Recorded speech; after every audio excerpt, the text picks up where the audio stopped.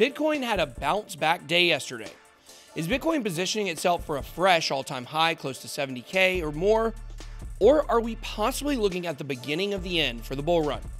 We're starting to see some conflicting data on this, so I hate to be the bearer of bad news, but it's my job to give you the facts, ma'am. And yes, that was directed toward the one lady who watches my show. Today, we're going to present the case for a massive Bitcoin run up and a case for a much darker future for Bitcoin. We're going to let you decide. Let's get it. BitSwap is the hottest new way to trade tokens. Crawling all the top decentralized exchanges, BitSwap gets you the very best price and value for your trades. BitSwap is changing the game. Try it now at bitswapdex.io.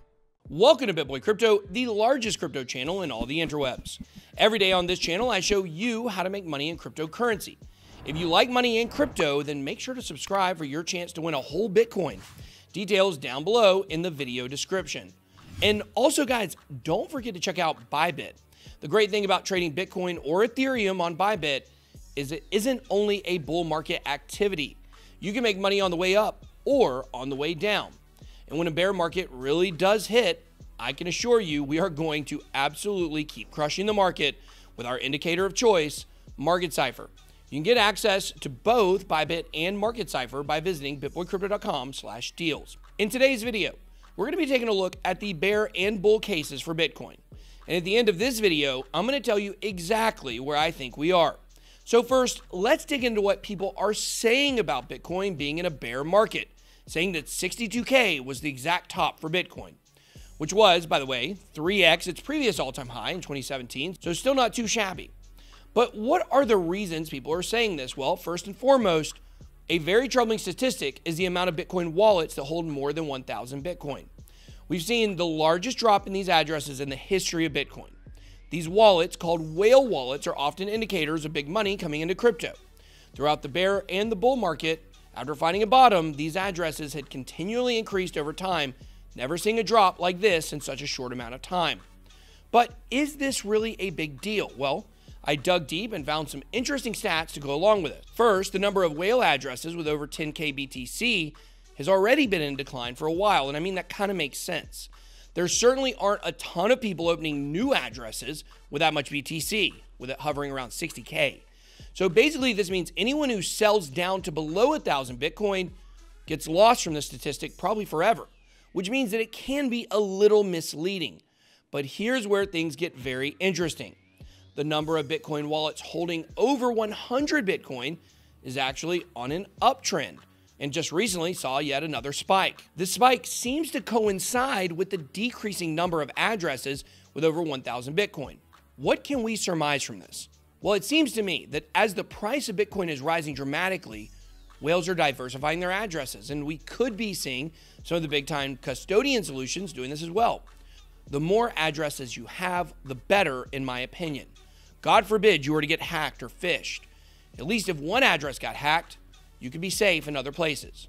But something else to think about is that we've never seen a gigantic whale address drop that coincides with the end of a bull market.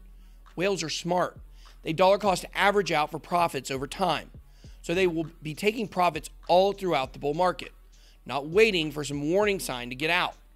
On the flip side, though, some people are saying we do have a gigantic warning sign that we need to pay attention to, and it's called the pie chart. And we aren't talking pecans. I love pecan pie. Also, no one says pecan but me. I love that too.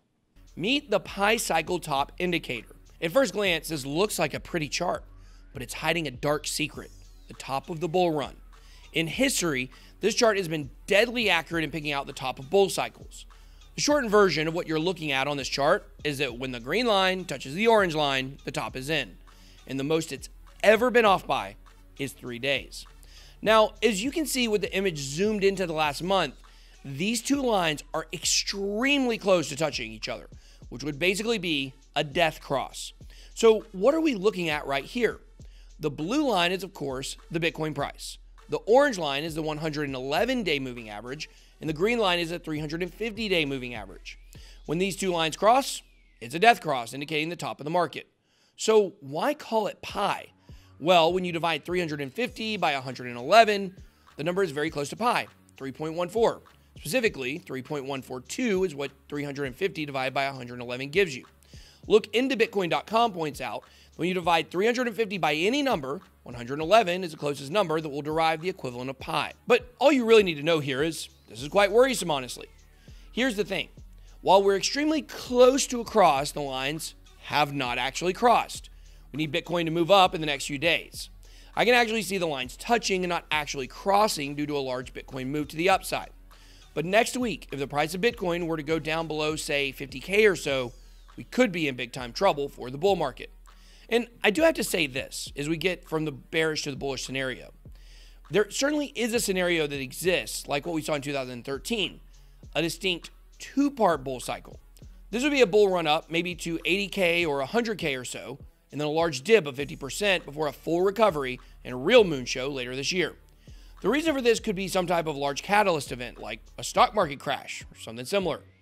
But as of right now, there's nothing really, in my opinion, to indicate a gigantic crash like that. It is possible, though, so keep that in mind. So, for the bullish scenario, we just don't need to look further than one of our favorite all time charts the stock to flow model. The stock to flow model by Plan B indicates we're basically right where we should be. If you're newer to this channel, this chart shows a relationship between the amount of Bitcoin available and the flow of that Bitcoin. Early in 2020, the model began showing a $289,000 Bitcoin when that was a crazy, outlandish prediction. It's like somehow the chart knew to bake in the pandemic and wild money printing. Charts really are amazing sometimes. But right now, at this moment, we are actually ahead of that. Absolutely crazy. This is why many Bitcoin analysts, like myself, have thrown out predictions in the 300K to 400K range. And just so everyone is clear here, like the Pi top indicator, this chart's never been wrong in the history of Bitcoin. So this is why I'm led to favor we don't actually get the cross on the Pi top indicator. Now, in addition to the stock to flow chart, we have the trusty NUPL indicator. This is the total amount of wallets in Bitcoin that are at a net unrealized profit. For every Bitcoin cycle in history, the NUPL peaked about the 75% range marked by blue on this chart. The blue stages are called euphoria and are marked by extreme greed. People begin to believe that the price will go up forever, so there's never a good time to sell. Each time this happens, the market inevitably crashes.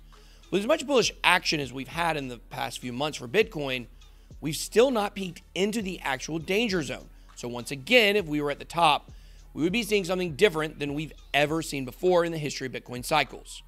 Now, one more handy dandy chart that we use a lot here is the Golden Bull Ratio. This chart basically shows that the bull runs themselves are predictable from a time perspective.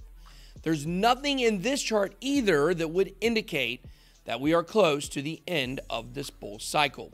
In fact, we're about six months away from the end.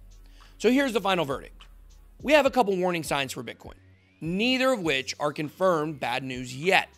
But we're basically close to having to pay attention to what it's doing Bitcoin, though, has been in the spot many times throughout the bull run, and each time it's came out like a champ, swinging, knocking out the competition, which, of course, are the haters.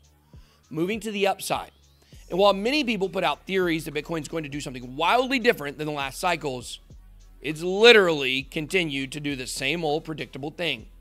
Till the Bitcoin cycles are broken, there's zero reason to believe they will break. Now, as always, I'll believe it when I see it. Let me know what you think. Are we close to the end or just getting started? Drop me those comments and a Bitcoin price prediction down below. Smash the like button if you enjoy Bitcoin specific videos. That's all I got. Be blessed. BitBoy out.